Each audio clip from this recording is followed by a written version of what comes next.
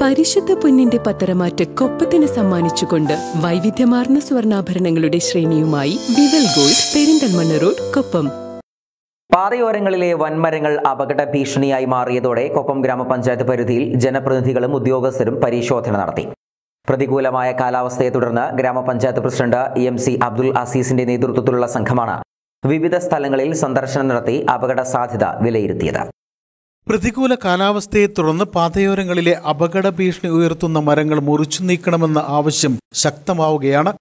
പട്ടാമ്പി താലൂക്ക് ഓഫീസിൽ കഴിഞ്ഞ ദിവസം അടിയന്തര സാഹചര്യം വിലയിരുത്താൻ മുഹമ്മദ് മുഹ്സിൻ എം അധ്യക്ഷതയിൽ ചേർന്ന യോഗത്തിൽ അപകട ഭീഷണി ഉയർത്തുന്ന വൻമരങ്ങൾ മുറിച്ചു നീക്കാൻ നടപടിയുണ്ടാകണമെന്ന് ആവശ്യമുയർന്നിരുന്നു. ഇതേ തുടർന്ന് എം എൽ എയുടെ നിർദ്ദേശപ്രകാരം വിവിധ പഞ്ചായത്തുകളിലായി ബന്ധപ്പെട്ട ഉദ്യോഗസ്ഥരും ജനപ്രതിനിധികളും പാതയോരങ്ങളിലെ അപകട സാധ്യതയുള്ള മരങ്ങൾ കണ്ടെത്തി മുറിച്ചു നീക്കാൻ നടപടി ആരംഭിച്ചിട്ടുണ്ട്.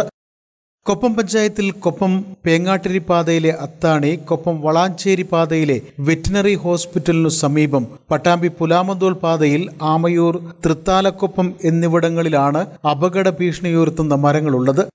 ഗ്രാമപഞ്ചായത്ത് പ്രസിഡന്റ് എം സി അബ്ദുൽ നേതൃത്വത്തിൽ ജനപ്രതിനിധികളും ഉദ്യോഗസ്ഥരും അടങ്ങുന്ന സംഘം ഇവിടം സന്ദർശിച്ചു.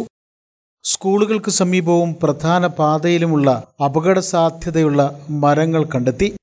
ഇതു സംബന്ധിച്ച് തഹസിൽദാർക്ക് റിപ്പോർട്ട് നൽകുന്നതിന്റെ ഭാഗമായാണ് പാതയോരങ്ങളിൽ ഉദ്യോഗസ്ഥ സംഘവും ജനപ്രതിനിധികളും സന്ദർശനം നടത്തിയത്.